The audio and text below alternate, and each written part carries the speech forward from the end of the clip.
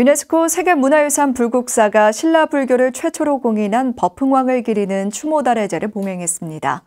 이날 행복바람이 지역 문화축전도 열렸는데요. 대구지사 안홍규 기자가 현장에 다녀왔습니다.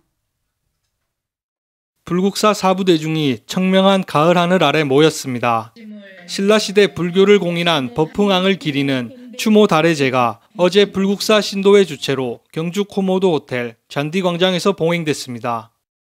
신라 불교를 최초 공인한 임금으로서 우리들은 그동안 그 크신 공헌을 까맣게 잊고 살아오지 않았나 반성하며 다소 늦은 감이 있지만 대왕의 위대한 업적을 기리는 추모 다대제를 올리게 되어 다래제에는 불국사 관장 종상대종사, 불국사 승가대학 원장 덕민대종사, 주지 종우 스님, 은혜사 회주 돈명 스님, 동화사 주지 능종 스님, 이영숙 불국사 신도 회장, 이영경 동국대 경주 캠퍼스 총장 등이 참석했습니다. 가을 바람에 갈대꽃이 흔들리니 올광이 내려와 함께 춤을 춘다.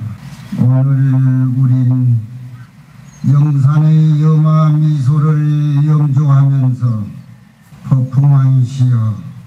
다시 화음 청정 불국도를 장엄해 주시옵소서. 불국사 관장 종상 대종사는 법흥왕의 업적을 기리며 불태전의 용기로 보살행을 발언했습니다.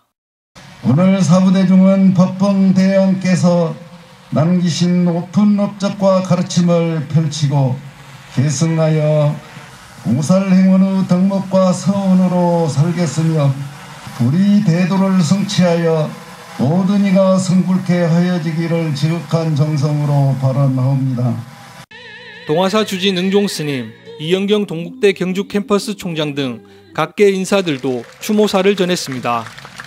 이 법흥왕의 추모 다리제와 도사생을 실천하는 행복 바람이 대축제는 이 세상 그 어느 행사보다도 거룩하고 성스럽고 뜻깊은 행사라고 말씀을 올립니다. 이날 불국사 신도의 이미연 부회장이 추모 시를 낭독하고 명상음악가 홍순지 씨가 추모의 노래를 불러 울림을 전했습니다.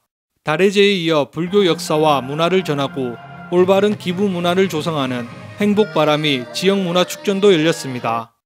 BTN 뉴스 안홍규입니다.